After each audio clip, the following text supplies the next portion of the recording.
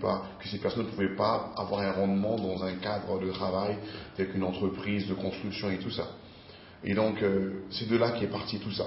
Et nous avons pensé qu'il était donc juste de continuer À son vivant, la fondation existait. Non, non, non. La fondation est née deux ans après son décès. Donc, euh, vous, vous êtes le président Oui. et le créateur. Je voudrais pas m'attacher à, à- Je pense simplement que c'est c'est euh, une décision familiale. Voilà, je pense que c'est une décision familiale. Je ne voudrais pas dire que je suis le fondateur ou quoi que ce soit. C'est pas important.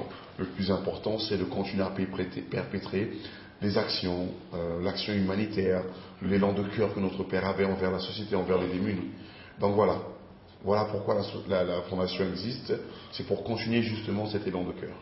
Voilà, ce nom Charles Ebina, Joe Ebina pouvait bien choisir euh, autre nom. Mais pourquoi pas Pourquoi le nom de Charles Ebina Ça n'a pas. Comment la- d'ailleurs comment la famille a réagi? Mais la famille était ravie. La famille était ravie de savoir qu'évidemment, nous, nous sommes.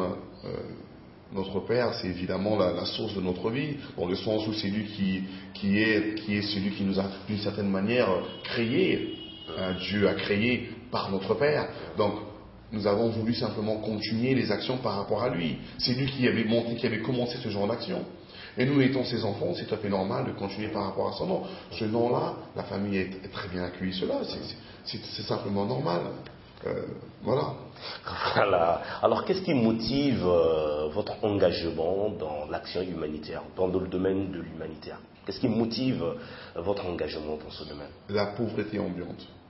Surtout de voir que le Congo est un pays où les gens souffrent énormément. Ah bon? Oui, de constater qu'il y a une grande pauvreté, il y a beaucoup de démunis, euh, de constater que, en fin de compte, euh, beaucoup de gens ont des problèmes euh, alimentaires, ont des problèmes de logement. C'est tous ces problèmes-là qui, qui nous poussent à agir, à essayer dans, le- dans la mesure du possible avec les petits fonds que nous avons. C'est vrai que c'est minime, mais l'élan de cœur est là, la volonté est là de pouvoir essayer de changer les choses. Est-ce qu'il y a un message particulier que vous essayez de faire passer en vous engageant dans ce domaine? C'est vrai que, question cœur, est-ce qu'il y a un message que vous voulez faire passer aux, message, Congolais? oui, mais c'est d'abord un message d'amour envers d'autres Congolais. Euh, Parce que vous croyez qu'on n'a pas suffisamment d'amour contre les Congolais? Écoutez, si on avait assez d'amour, je ne pense pas que nous vivrons dans ces conditions-là.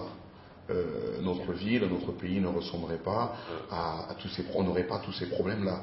Il y a donc euh, la fondation donc voudrait vraiment avoir de l'impact sur son message, un message d'amour, un message d'aide. C'est aussi un message de, de bon samaritain, comme la parole biblique nous l'explique, euh, d'aider les autres. Euh, voilà un petit peu, c'est un message d'amour, c'est et aussi un message de patriotisme. Nous considérons à la Fondation que si nous aimons nos, nous aimons nos frères et si nous aimons le Congo, nous devons montrer cela par des actes, par de l'action, par un certain engagement envers un certain changement des situations euh, de la société congolaise. Voilà, il est vraiment rare de voir euh, des Congolais s'engager euh, à de telles œuvres sans s'attendre à rien. Hein, ils font, les Congolais font rien pour rien. Est-ce que Joe Ibina, euh, en posant ses actes, s'attend à quelque chose?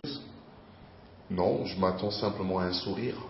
Lorsque nous aidons des gens qui ont des problèmes, qui viennent nous voir, et lorsque, d'une manière ou d'une autre, nous essayons d'apporter quelque chose à ces gens-là, ce que nous attendons, c'est un simple sourire. Ce n'est pas un gain, ce n'est pas un retour. Mais la plus grande récompense vient de Dieu. Et nous savons que Dieu, dans sa bonté, dans sa grandeur, sait récompenser ceux qui font du bien en aidant les autres. Et en s'oubliant un petit peu, à- en s'oubliant un petit peu soi-même et penser aux autres. Donc euh, le retour est simplement un retour de bonheur, un retour de joie. Et, euh, et voilà, rien de, rien de, de spécial à attendre ou un certain gain ou euh, non pas du tout. Voilà, que répondez-vous à cette opinion qui pense que vos actions ne sont que des mascarades? Ça dépend comment on définit le mot mascarade. Nous sommes arrivés. euh, C'est-à-dire, vous êtes là. oui, je comprends ce que vous voulez dire, mais il faut, il faut juger les hommes par les actions qu'ils posent et non par ce qu'ils disent et par ce que les gens disent. Nous avons posé, nous avons fait certaines choses. Je ne pense pas, je, je- vraiment je me demanderais qui penserait que c'est de, de la mascarade. Nous sommes allés sur le pont du Djoué, nous avons rétabli les garde-fous, là où il y avait un enfant qui était tombé de l'autre côté. J'ai un mauvais souvenir, c'est pour ça. Voilà, qui, qui a failli se noyer. euh, Est-ce que c'est de la mascarade? Est-ce que aller aider euh, l'orphelinat Maman Dorcas, à les assister dans certaines structures, c'est de la mascarade?